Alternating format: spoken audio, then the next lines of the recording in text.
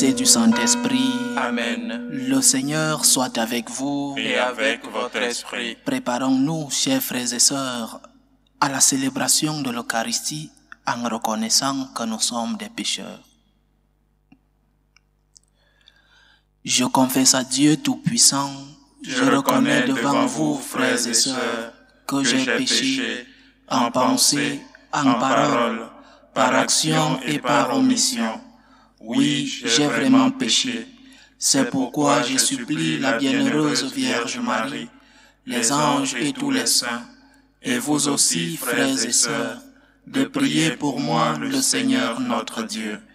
Que Dieu Tout-Puissant nous fasse miséricorde, qu'il nous pardonne nos péchés et nous conduise à la vie éternelle. Amen.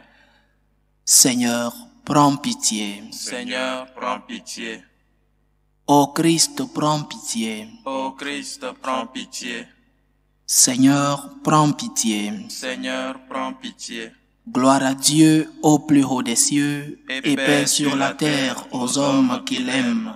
Nous te louons, nous te bénissons, nous t'adorons.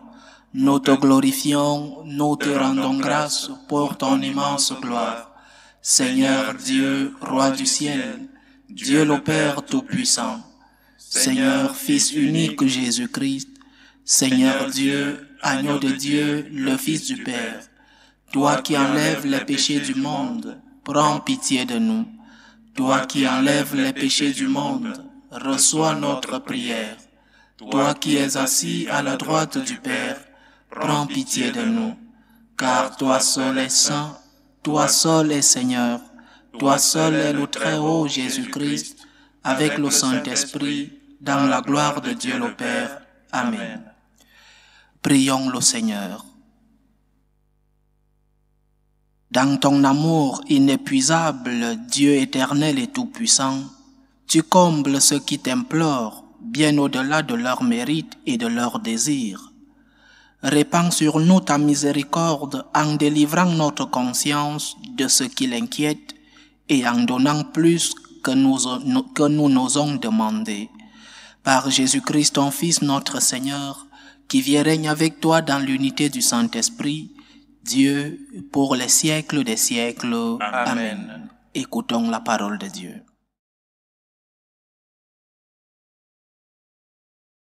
Lecture du livre du prophète Isaïe.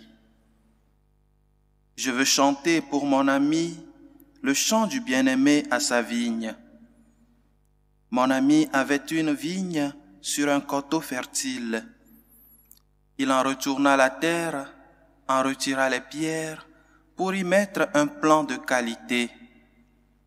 Au milieu, il bâtit une tour de garde et creusa aussi un pressoir. Il en attendait de beaux raisins, mais elle en donna de mauvais. Et maintenant, habitants de Jérusalem, hommes de Juda, soyez donc juges entre moi et ma vigne. Pouvais-je faire pour ma vigne plus que je n'ai fait? J'attendais de beaux raisins, pourquoi en a-t-elle donné de mauvais? Eh bien, je vais vous apprendre ce que je ferai de ma vigne. Enlever sa clôture pour qu'elle soit dévorée par les animaux, ouvrir une brèche dans son mur pour qu'elle soit piétinée. J'en ferai une pente désolée. Elle ne sera ni taillée ni sarclée. Il y poussera des épines et des ronces. J'interdirai aux nuages d'y faire tomber la pluie. La vigne du Seigneur de l'univers, c'est la maison d'Israël. Le plan qu'il chérissait, ce sont les hommes de Juda. Il en attendait le droit, et voici le crime. Il en attendait la justice, et voici les cris. Parole du Seigneur. Nous Nous rendons grâce à Dieu. La vigne du Seigneur de l'univers, c'est la maison d'Israël. La vigne du Seigneur de l'univers, c'est la maison d'Israël. La vigne que tu as prise à l'Égypte, Tu la replantes en chassant des nations. Elle étendait ses sarments jusqu'à la mer et ses rejets jusqu'au fleuve. La vigne du Seigneur de l'univers, c'est la maison d'Israël. Pourquoi as-tu percé sa clôture? Tous les passants y grappillent en chemin. Le sanglier des forêts la ravage et les bêtes des champs la broutent. La vigne du Seigneur de l'univers, c'est la maison d'Israël. Dieu de l'univers, reviens. Dieu des cieux, regarde et vois. Visite cette vigne, protège-la, celle qu'a plantée ta main puissante.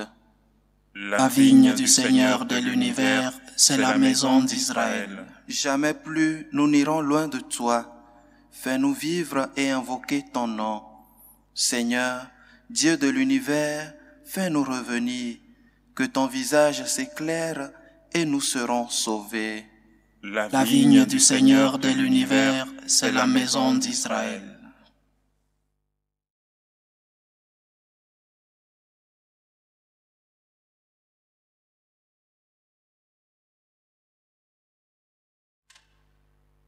Lecture de la lettre de Saint Paul apôtre aux Philippiens. Frères, ne soyez inquiets de rien, mais en toutes circonstances, priez et suppliez tout en rendant grâce pour faire connaître à Dieu vos demandes. Et la paix de Dieu, qui dépasse tout ce qu'on peut concevoir, gardera vos cœurs et vos pensées dans le Christ Jésus. Enfin, mes frères, tout ce qui est vrai et noble, tout ce qui est juste et pur, tout ce qui est digne d'être aimé et honoré, tout ce qui s'appelle vertu et qui mérite des éloges, tout cela, prenez-le en compte. Ce que vous avez appris et reçu, ce que vous avez vu et entendu de moi, mettez-le en pratique et le Dieu de la paix sera avec vous. Parole du Seigneur. Nous rendons grâce à Dieu. Alléluia, Alléluia, Alléluia. Alléluia, Alléluia, Alléluia. C'est moi qui vous ai choisi afin que vous alliez, que vous portiez du fruit et que votre fruit demeure, dit le Seigneur. Alléluia, Alléluia, Alléluia.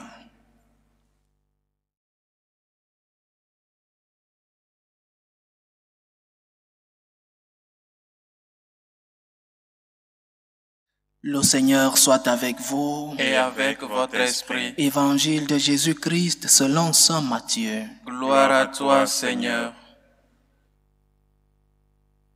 En ce temps-là, Jésus disait aux grands prêtres et aux anciens du temple, Écoutez cette parabole. Un homme était propriétaire d'un domaine. Il planta une vigne, l'entoura d'une clôture, y creusa un pressoir et bâtit une tour de garde. Puis il loua cette vigne à des vignerons et partit en voyage. Quand arriva le temps des fruits, il envoya ses serviteurs auprès des vignerons pour se faire remettre le produit de sa vigne. Mais les vignerons se saisirent des serviteurs, frappèrent l'un, tuèrent l'autre, lapidèrent le troisième. De nouveau, le propriétaire envoya d'autres serviteurs, plus nombreux que les premiers, mais on les traita de la même façon.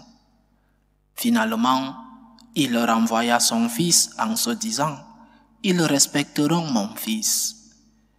Mais voyant le fils, les vignerons se dirent entre eux, Voici l'héritier, venez, tuons-le, nous aurons son héritage. Ils se saisirent de lui, le jetèrent hors de la vigne et le tuèrent. Eh bien, quand le maître de la vigne viendra, que fera-t-il à ces vignerons? On lui répond, Ces misérables, il les fera périr misérablement. Il aura la vigne à d'autres vignerons qui lui en remettront le produit en temps voulu. Jésus leur dit, N'avez-vous jamais lu dans les Écritures, la pierre qu'ont rejetée les bâtisseurs est devenue la pierre d'angle? C'est là l'œuvre du Seigneur, la merveille devant nos yeux. Aussi, je vous le dis, le royaume de Dieu vous sera enlevé pour être donné à une nation qui lui fera produire ses fruits. Acclamons la parole de Dieu. Louange à toi, Seigneur Jésus. Les droits de Dieu, c'est le thème de l'évangile de ce 27e dimanche du temps ordinaire. Les droits de Dieu. Dieu a des droits. Tout système de droits humains se base sur le fait que l'être humain, du fait d'être être humain, a des droits. Le simple fait d'être un être humain te concède déjà des droits. Mais ces droits de l'homme sont fondés sur quelqu'un qui a créé l'homme. Le fondement des droits de l'homme réside en le créateur de cet homme. S'il n'y a pas de créateur, l'homme n'a pas de droit. Parce que c'est le Créateur qui a fait de nous ce que nous sommes. C'est le Créateur qui nous a donné la dignité que nous réclamons dans les droits. Parce que réclamer des droits, c'est réclamer la dignité. Réclamer les droits d'une personne, c'est réclamer la dignité de cette personne. Et cette dignité nous vient de notre Créateur. Si le Dieu, le Créateur, le Tout-Puissant, le miséricordieux, si Dieu ne voit pas ses droits respectés, pourquoi allons-nous respecter les droits de ceux qui sont d'une autre religion, d'un autre pays, d'une autre race, d'un autre parti politique, ou les droits de celui-là qui vient au monde au mauvais moment, cet enfant? Dans le ventre de sa mère. Parce que nous ne respectons pas les droits du Créateur, nous ne respecterons pas les droits de nos prochains. Si tu ne respectes pas la loi de ton Créateur, que ton Créateur a des droits, si tu n'acceptes pas que celui qui t'a créé a des droits, ce sera très difficile pour toi de respecter les droits de ton prochain. Si tu n'acceptes pas qu'il y a une loi que ton Créateur a mise en toi, tu ne tueras point. Alors, tu ne pourras pas respecter le droit de cette nouvelle créature qui est en toi. Tu demanderas l'avortement. Tu demanderas l'euthanasie parce que cette personne ancienne dérange, cette personne ancienne te rend la vie difficile. Le fond du non-respect des droits du prochain, c'est parce que nous ne respectons pas les droits de Dieu. Les droits de celui-là qui nous a donné la dignité que nous réclamons aujourd'hui. L'homme est la créature la plus digne des mains de Dieu. Celui-là qui Dieu a dit que tout était très bon. Et Dieu a vu que tout était bon quand il a créé les autres créatures. Mais quand il a créé l'homme, il a vu que tout était très bon. Il a créé l'homme à son image et ressemblance. Alors l'homme qui réclame des droits devrait d'abord lever le regard vers le ciel. La base des droits humains est le respect des droits de Dieu. Du moins, cela devrait être ainsi pour nous les croyants, pour nous les catholiques. Parce que celui qui nous aidera, celui qui nous guidera, celui qui nous donnera la lumière, la force pour pouvoir respecter les droits de l'autre, c'est Dieu. Mais si nous ne respectons pas les droits de Dieu, nous nous ne serons pas en train de respecter les droits des autres. Quels sont les droits de Dieu? Quels sont-ils? Ils sont si nombreux que dans une homélie, nous ne pouvons pas les énumérer. Mais quels sont les droits de Dieu? Citons-en quelques-uns. Le premier Et c'est la base de tous les autres, le premier. Dieu a le droit d'être reconnu comme tel. Dieu a le droit d'être reconnu comme Dieu. Dieu a le droit d'être reconnu comme le Créateur, comme le Tout-Puissant, comme le Miséricordieux, comme le Rédempteur, comme celui qui nous sauve et qui a donné sa vie pour nous. Si nous ne reconnaissons pas qu'il y a un Créateur, nous devenons des créateurs. Alors, nous aurons entre nos mains la vie des autres. Si nous ne reconnaissons pas qu'il y a un Tout-Puissant, alors nous devenons les Tout-Puissants, le super-homme. Nos vies, la vie des autres sera entre nos mains. Si nous ne reconnaissons pas que Dieu est miséricordieux, alors nous allons employer la miséricorde à notre mesure. Si nous ne reconnaissons pas que le Fils de Dieu, Jésus-Christ, s'est fait chair pour s'approcher de l'homme, pour nous sauver, alors nous nous, considérerons, comme des sauveurs du monde que nous ne sommes pas. Le premier droit de Dieu et le fondement de tous les droits de Dieu, c'est d'être reconnu comme Dieu. Dieu existe, il est le Tout-Puissant, il est le Créateur, il est le Dieu miséricordieux, il est le Dieu qui a pris chair et a habité parmi nous pour être proche de nous, pour nous montrer le chemin, pour nous donner la lumière, pour nous révéler qui est Dieu, mais aussi pour nous montrer comment l'homme devrait avoir cette relation avec son Créateur. Dieu a le droit d'être reconnu comme tel. Le deuxième droit, et ce n'est pas un ogre après le premier, viennent d'autres droits, mais pas en ordre d'importance. Le deuxième droit de Dieu, c'est que nous devons lui consacrer du temps sur le temps qu'il nous a lui-même donné. Sur les 24 heures par jour que le Seigneur t'a donné, combien de temps lui consacres-tu?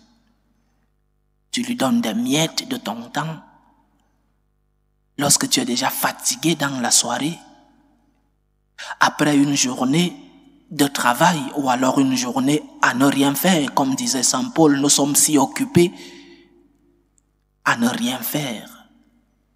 Combien de temps consacres-tu à Dieu? Dieu a le droit que tu le consacres un temps, du temps qu'il t'a donné gratuitement. C'est un droit de Dieu, ce n'est pas une faveur que nous faisons à Dieu. Dieu a le droit que tu lui consacres du temps dans la prière, du temps à l'Eucharistie, du temps dans la méditation, du temps dans une lecture spirituelle, une lecture formative.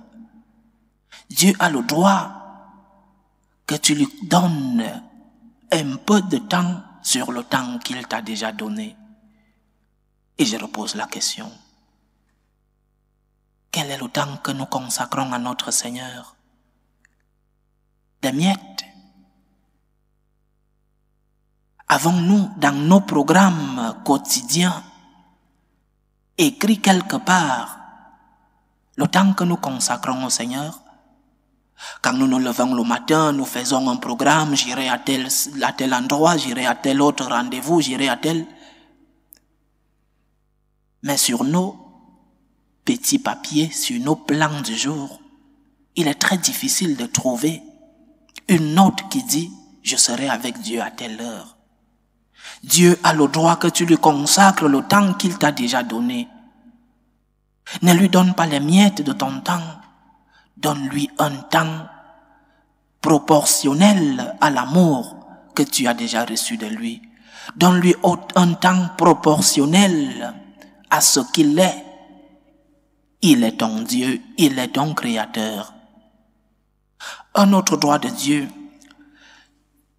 Dieu a le droit que nous prenions soin de la nature. La nature qui est aussi une création de Dieu.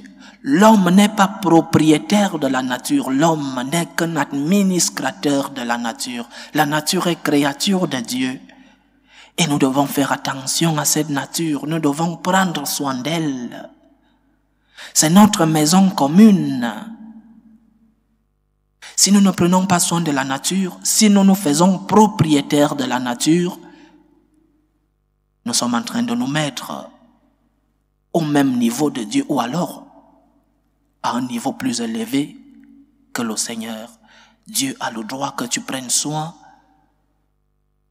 de celle-là qui est aussi une créature comme toi. C'est vrai que l'homme est la créature la plus aimée du Seigneur, mais il y a d'autres créatures aimées par Dieu parce que Dieu a créé par amour. Si tu ne prends pas soin de la nature, tu n'es pas en train d'accomplir ce que Dieu a envoyé, t'a envoyé faire sur la terre. Prends soin des autres créatures de Dieu. Prends soin de la nature. Dieu a le droit que nous respections ce qu'il a envoyé, ce qu'il nous a ordonné dans notre relation avec le prochain. Comment traites-tu ton prochain? Traites-tu ton prochain comme le Seigneur veut que tu le traites? Traites-tu ton prochain comme le Seigneur t'a traité? Le pardon. Pourquoi ne pardonnes-tu pas? Parce que le Seigneur, lui, il t'a toujours pardonné. Parce que le Seigneur a un cœur plein de miséricorde. Et qui t'a toujours pardonné, qui a toujours passé la page. Quand tu vas lui demander pardon, pourquoi ne fais-tu pas de même? Pourquoi ne donnes-tu pas une réponse au pardon que le Seigneur t'a déjà fait? La compassion. Où est notre regard?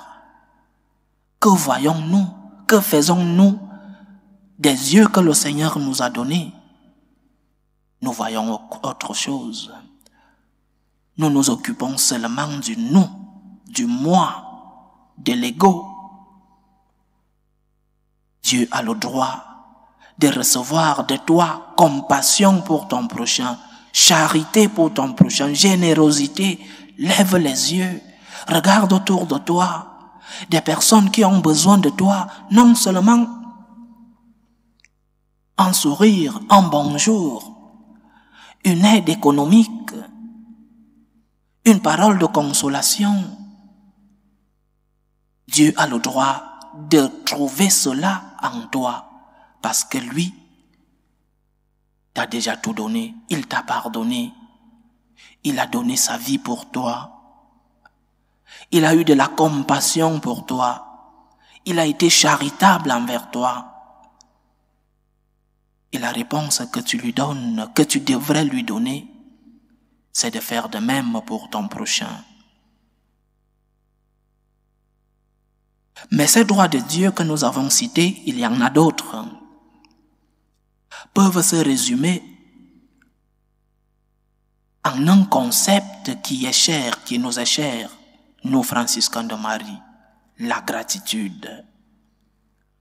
Dieu a le droit que tu lui donnes une réponse. Dieu a le droit de recevoir de toi une réponse de reconnaissance, une réponse de gratitude. Dieu a le droit de trouver en toi un cœur reconnaissant, un cœur qui sait qu'il a tant reçu du Seigneur, un cœur qui se pose la question, Seigneur, qu'est-ce que je peux faire pour répondre à tant de bénédictions que j'ai reçues? Seigneur, qu'est-ce que je peux faire pour toi? Parce que oui, nous pouvons faire quelque chose pour Dieu. Ne soyons pas des éternels récepteurs. Nous devons aussi tendre la main donnée. Nous pouvons aussi être des personnes qui demandent au Seigneur, après tout ce que j'ai reçu de toi, Seigneur, qu'est-ce que je peux faire pour toi? Dieu a le droit de recevoir de nous une réponse de gratitude. Et la gratitude, pas comme de la simple courtoisie, merci, hein, mais la gratitude comme le remède de l'âme, une gratitude qui te naît du cœur, une gratitude vraie, une gratitude qui remplit ton cœur et ton âme. Souvenons-nous de la parabole des dix lépreux. Les dix viennent demander la guérison au Seigneur et les dix sont guéris. du moins physiquement. Mais il n'y a qu'un seul qui revient dire merci au Seigneur. Et celui-là reçoit une autre guérison. Le Seigneur lui pose la question, mais où sont les neuf autres Ceux-là n'ont pas reçu de guérison. Pourquoi c'est seulement le un dixième qui vient dire, qui vient dire merci? Et le Seigneur lui donne une autre guérison, la guérison de l'âme. La gratitude nous guérit l'âme.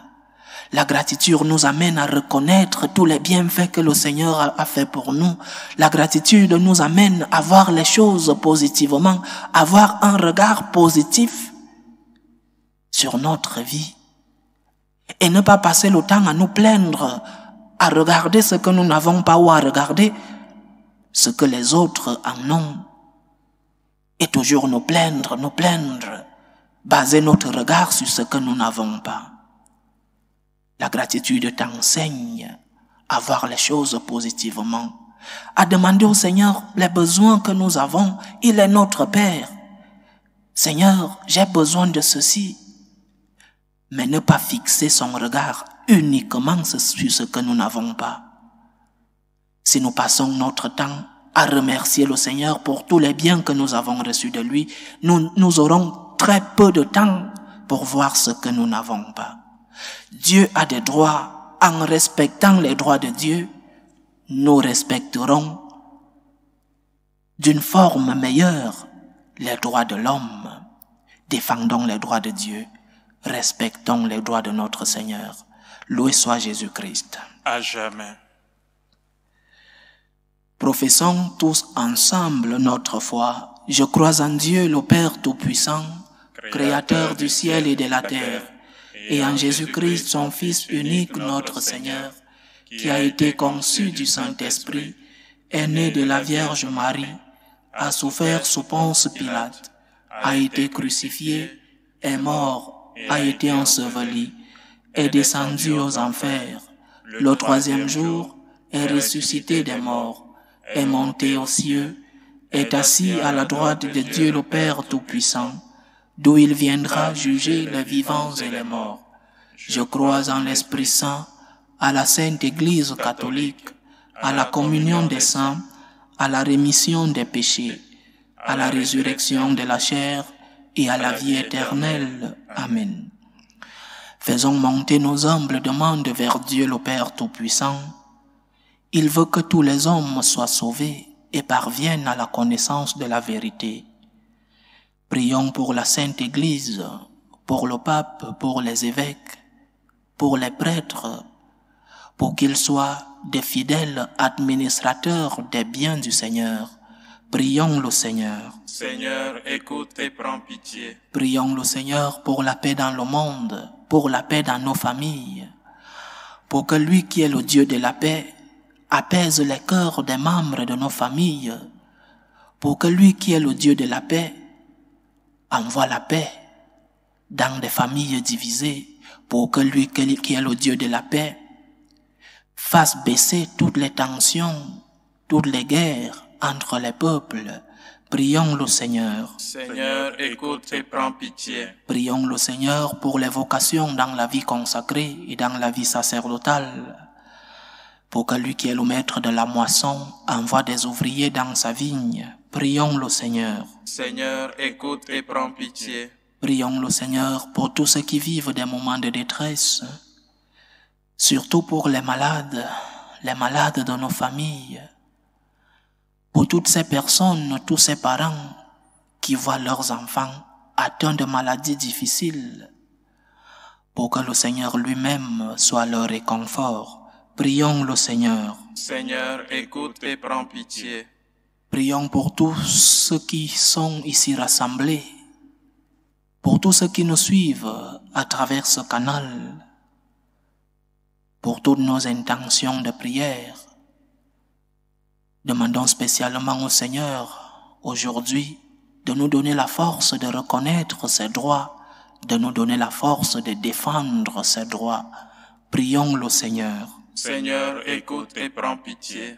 Écoute et prends pitié, Seigneur. Reçois les supplications que ton peuple te présente avec foi. Daigne les exaucer selon ta volonté. toi qui vis et règnes pour les siècles des siècles. Amen.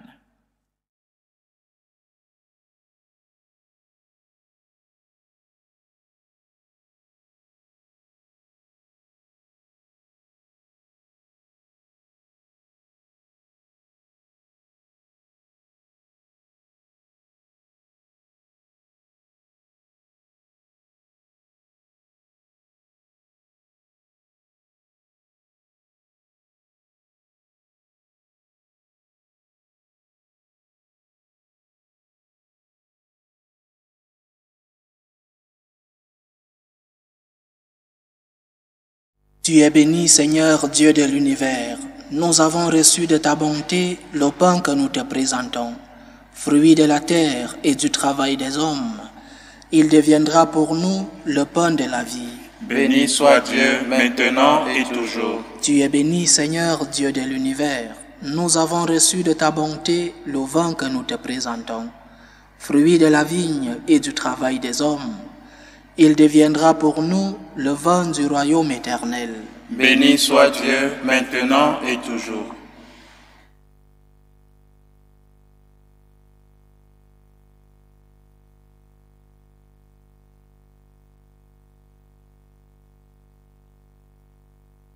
Prions ensemble, chers frères et sœurs, au moment d'offrir le sacrifice de toute l'Église. Pour la gloire de Dieu et le salut du monde. Accueille, Seigneur, nous t'en prions, le sacrifice que tu as toi-même institué. Dans les saints mystères que nous célébrons pour te servir comme il convient, sanctifie-nous pleinement par ton œuvre de rédemption. Par Jésus-Christ, ton Fils, notre Seigneur, qui vit et règne avec toi dans l'unité du Saint-Esprit, Dieu, pour les siècles des siècles. Amen. Le Seigneur soit avec vous. Et avec votre esprit, Élevons notre cœur. nous le tournons vers le Seigneur. Rendons grâce au Seigneur notre Dieu. Cela est juste et bon.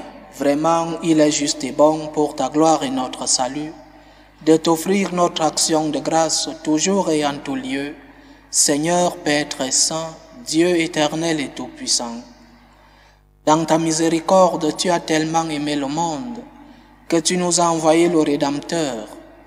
Tu l'as voulu à notre ressemblance, en toutes choses à l'exception du péché, afin d'aimer en nous ce que tu aimais en lui. Tes dons que nous avions perdus par la désobéissance du péché, nous les retrouvons par l'obéissance de ton Fils. C'est pourquoi avec les anges et tous les saints, nous te louons Seigneur et nous exultons de joie en proclamant Saint, Saint, Saint, le Seigneur Dieu de l'univers, le ciel et la terre sont remplis de ta gloire. Hosanna au plus haut des cieux. Béni soit celui qui vient au nom du Seigneur. Hosanna au plus haut des cieux. Toi qui es vraiment saint, toi qui es la source de toute sainteté, Dieu notre Père, nous voici ressemblés devant toi et dans la communion de toute l'Église, nous célébrons le jour où le Christ est ressuscité d'entre les morts.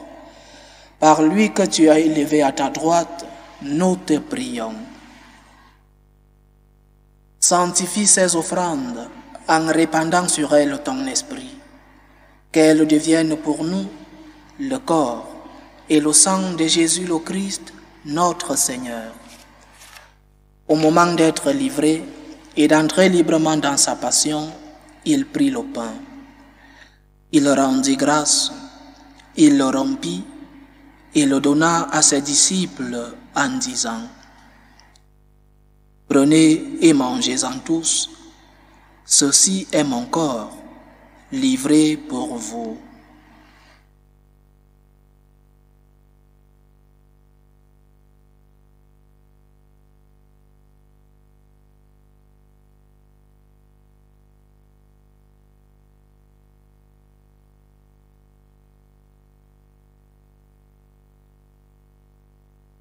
De même, après le repas, il prit la coupe. De nouveau, il rendit grâce et la donna à ses disciples en disant, Prenez et buvez-en tous, car ceci est la coupe de mon sang, le sang de l'alliance nouvelle et éternelle, qui sera versé pour vous et pour la multitude en rémission des péchés. Vous ferez cela en mémoire de moi.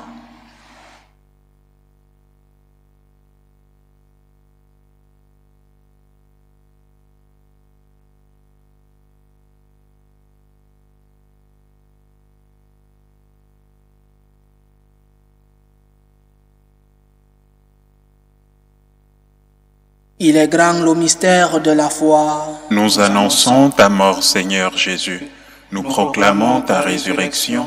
Nous attendons ta venue dans la gloire.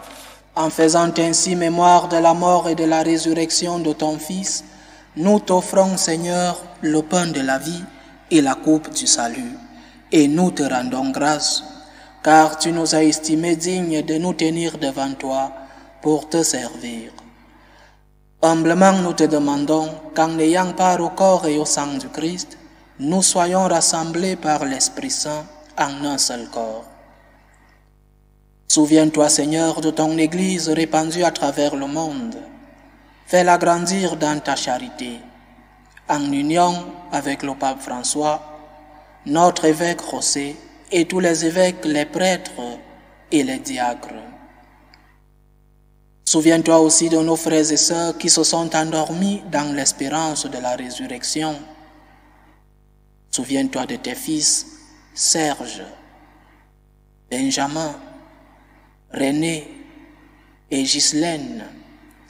Et souviens-toi dans ta miséricorde de tous les défunts. Accueille-les dans la lumière de ton visage. Sur nous tous, enfin, nous implorons ta bonté. Permets qu'avec la Vierge Marie, la bienheureuse Mère de Dieu, avec Saint Joseph, son époux, les apôtres et tous les saints qui ont fait ta joie au long des âges, nous ayons part à la vie éternelle et que nous chantions ta louange et ta gloire par ton Fils Jésus le Christ.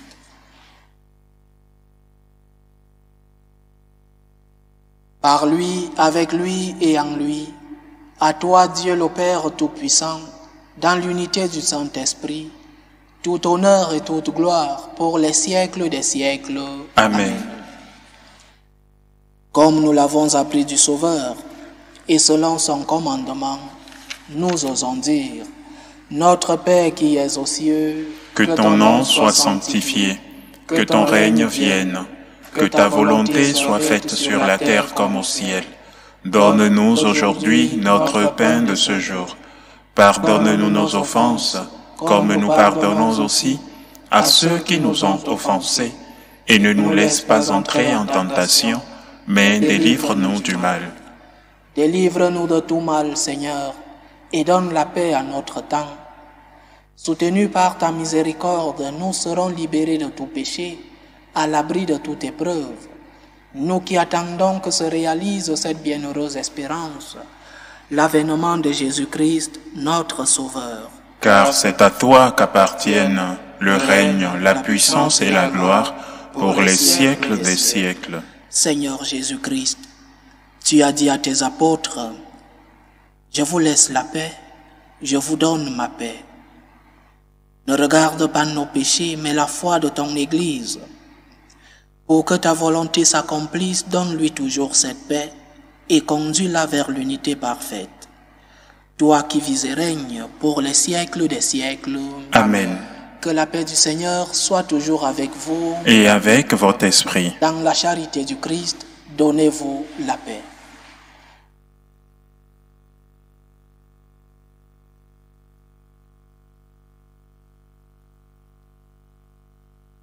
Agneau de Dieu, qui enlève les péchés du monde, prends pitié de nous. Agneau de Dieu qui enlève les péchés du monde, prends pitié de nous. Agneau de Dieu qui enlève les péchés du monde, donne-nous la paix.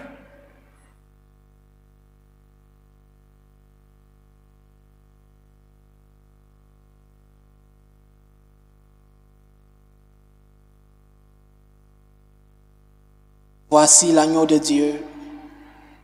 Voici celui qui enlève les péchés du monde. Heureux les invités au repas des noces de l'agneau. Seigneur, je ne suis pas digne de te recevoir, mais dis seulement une parole et je serai guéri. Que le corps et le sang du Christ nous gardent pour la vie éternelle. Amen.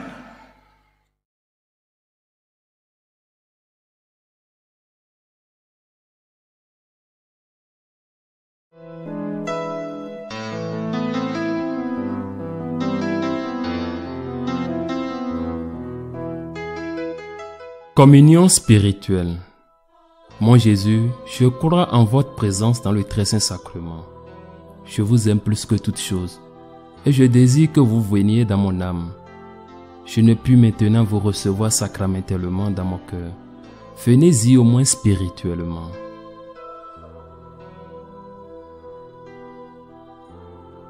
Je vous embrasse comme si vous étiez déjà venu et je m'unis à vous tout entier.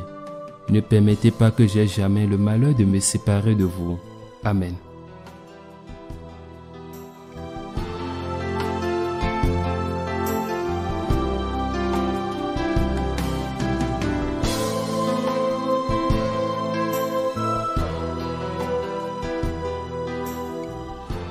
Achevons notre prière.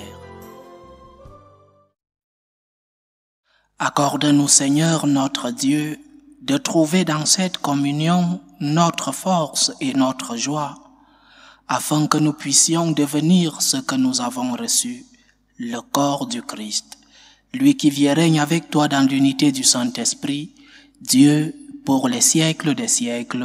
Amen. Le Seigneur soit avec vous. Et avec votre esprit. Que Dieu Tout-Puissant vous bénisse, le Père, le Fils et le Saint-Esprit. Amen. Allez dans la paix du Christ. Nous rendons grâce à Dieu. Salut, ô Reine, Mère Mère de de miséricorde, notre vie, notre douceur, notre espérance au salut. Nous crions vers toi, enfant d'Ève exilés. Vers toi nous soupirons, gémissant et pleurant, dans cette vallée de larmes. Ô toi notre avocate, tourne vers nous ton regard miséricordieux. Et après cet exil, montre-nous Jésus, le fruit béni de tes entrailles. Ô clémente, ô miséricordieuse, ô douce Vierge Marie. Amen. Priez pour nous, Sainte Mère de Dieu. afin que nous soyons rendus dignes des promesses du Christ.